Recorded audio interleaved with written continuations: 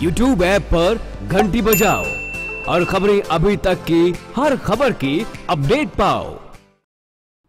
नमस्कार, आप देख रहे हैं खबरें अभी तक और मैं हूँ आपके साथ शीनम शर्मा। खबरों का रुख करेंगे, लेकिन उससे पहले बड़ी खबर इस वक्त दिल्ली से आ रही है। गांधी जयंती को लेकर प्रधानमंत्री नरेंद्र मोदी ने बैठक बुलाई है। सभी राज्यों के सीएम को यहाँ पर बुलाया गया है और ये बैठक होने जा रही है। आपको बता दें कि आने वाली गांधी जयंती की तैयारियों को लेकर इस बैठक को बुलाया गया है। शाम को पाँच बजे दिल्ली में ये बैठक होगी। स्वच्छता अभियान सहित कई अहम मुद्दों पर भी यहाँ पर चर्चा हो सकती है। ये बड़ी खबर आपको दिल्ली से दे रहे हैं, जहाँ पर स्वच्छता अभियान समेत कई अहम मुद्दों पर इस बैठक में चर्चा होने जा रही है।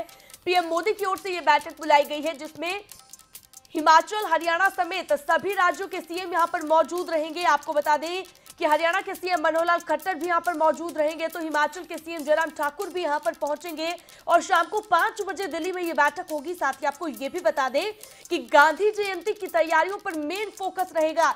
साथ ही स्वच्छता अभियान और कई अहम मुद्दों पर भी यहाँ पर चर्चा हो सकती है।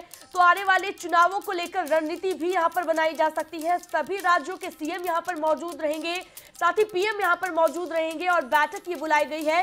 सभी राज्यों के सीएम इस बैठक में रहेंगे। गांधी जयंती की तैयारियों को लेकर भी यहाँ पर चर्चा की जाएगी और साथ ही स्वच्छता अभियान जैसे कई अहम जो अभियान पीएम मोदी की ओर से चलाए गए हैं, उन सभी को लेकर यहाँ पर चर्चा हो सकती है।